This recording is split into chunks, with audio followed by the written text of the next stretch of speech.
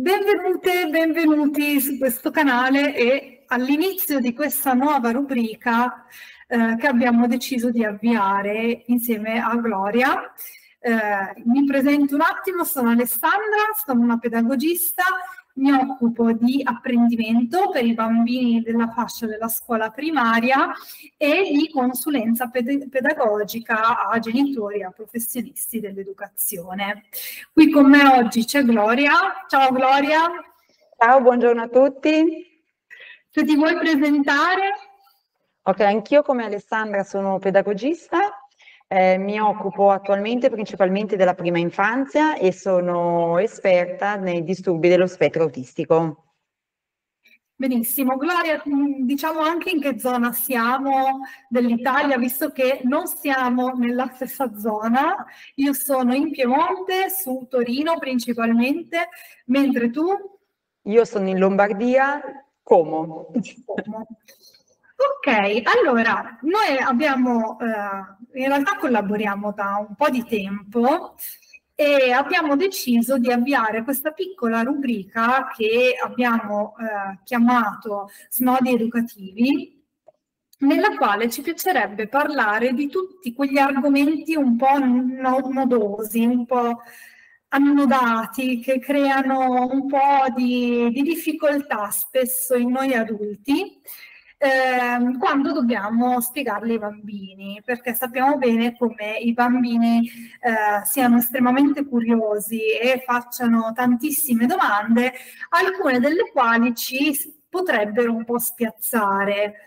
Eh, abbiamo deciso di raccogliere alcuni ehm, dei temi, dei nodi che sono capitati principalmente a noi nel corso eh, della nostra esperienza professionale e che riguardano tematiche come la disabilità, la morte, la sessualità, la guerra e la nascita di un fratellino, di una sorellina. Quindi nel corso di questi video che eh, vedrete poi nel, pubblicati nelle prossime settimane, ci piacerebbe andare un po' a snodare questi nodi partendo un po' dal presupposto che ai bambini si può parlare di tutto. I bambini non sono, mh, mm, diciamo, eh, un, una cosa estranea alla realtà, non vivono nel loro mondo, eh, hanno, eh, vivono nel nostro mondo, eh, hanno relazioni con persone che li circondano, i loro genitori, la loro famiglia, gli amici, la scuola e ehm, si osservano ciò che accade attorno a loro, si rendono conto se c'è qualcosa che cambia e si fanno sempre tante domande. Eh, e quindi molto importante accogliere queste domande anche se potrebbero eh, darci un po' di oddio, adesso come glielo spiego questo? Mm, innanzitutto Mm, non so poi Gloria se vuole aggiungere qualcos'altro, eh, mi verrebbe da, da, consigliare a tutti gli adulti, genitori, educatori, insegnanti che hanno a che fare con i bambini, se si trovano spiazzati di fronte a questa domanda, magari proprio anche prendersi del tempo e spiegare al bambino che quella è una cosa talmente importante che anche un grande ha bisogno di, eh, di tempo per pensare a come potergliene parlare. E poi ehm, un'altra, eh, un altro elemento, secondo me, molto importante che a me Gloria piace tantissimo e sul quale abbiamo già lavorato molto, farsi aiutare anche da alcuni strumenti come gli albi illustrati. Nei prossimi video noi vi proporremo degli albi illustrati che abbiamo scelto e che vanno a supportare la comunicazione con il bambino ehm, non sostituiscono l'adulto, cioè non è che diamo l'albo in mano al bambino e diciamo ok, questa è fatta. No, è uno strumento che serve prima di tutto a noi adulti perché ci possa dare un supporto nel capire anche banalmente le parole che possiamo utilizzare per parlare di una certa cosa ai bambini. Um, e poi eh, come supporto eh, proprio nel, nella creazione di un momento con il bambino. Quindi dedicare a queste importanti domande dei bambini ehm, un momento di condivisione e di costruzione anche di, di una nuova scoperta. Non so, Gloria, se vuoi aggiungere tu qualcosa. Allora sì, assolutamente. Le, innanzitutto, ecco, noi abbiamo individuato questi snodi che sono per noi significativi, ma se qualcuno ne, nella sua, diciamo, professionale, nella sua lavoro, nella sua professionalità invece si è scontrato con altre questioni, eh, vi chiediamo magari di segnalarcelo in modo tale che eh, possiamo poi cercare di affrontare anche quello in un altro, in un altro momento.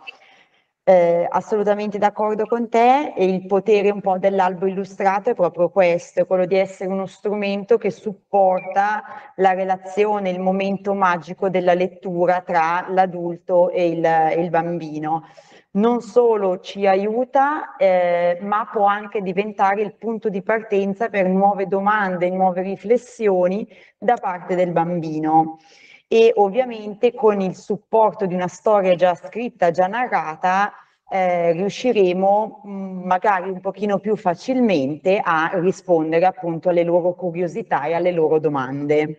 Eh, e può anche diventare il punto di partenza per nuove domande e eh, nuove, nuove, riflessioni che nascono appunto dal, dal, bambino.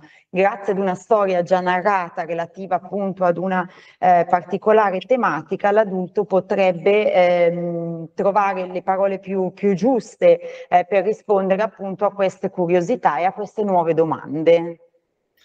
Mi verrebbe anche da aggiungere che la, la, potenza dell'albo sta non soltanto nelle parole ma anche nelle immagini, cioè è proprio una comunicazione per il bambino su più fronti, cioè a partire da più canali. Quindi eh, è per questo che mm, crediamo fortemente in questo strumento, se ben utilizzato. E, ehm, Già lo scorso anno avevamo fatto un webinar dedicato proprio eh, alla, si chiamava Albi alla mano quando i genitori si separano, quindi sullo specifico momento della separazione genitoriale ehm, come poter comunicare ai bambini che cosa stava accadendo, proprio perché come ho detto all'inizio di, di questo video eh, ai bambini si può parlare di tutto e in alcuni casi è davvero importante spiegargli che cosa sta accadendo. Sì, perché sono parte comunque attiva nel caso della separazione che abbiamo affrontato lo scorso anno della famiglia ed è giusto quindi che con le dovute parole, dovuti modi eh, siano a conoscenza di quello che accade in famiglia. Eh, il potere delle immagini, aggiungerei, eh, può far sembrare più vicino eh, un, un amichetto, una persona che si conosce che magari si trova in quella particolare situazione e si possono trovare delle analogie con quel protagonista di quel particolare albo che il bimbo conosce. Benissimo, allora noi vi invitiamo a seguire i video che eh, arriveranno. Eh, per qualsiasi cosa vi lasciamo i nostri contatti eh, sotto nella descrizione e se avete domande, se volete proporre dei nodi appunto che avete vissuto, lasciatevi pure in un commento così che poi chissà, potremmo prenderli e eh, farci una, una puntata dedicata. Vi ringraziamo per ora per averci seguito in questo video e ci vediamo nei prossimi.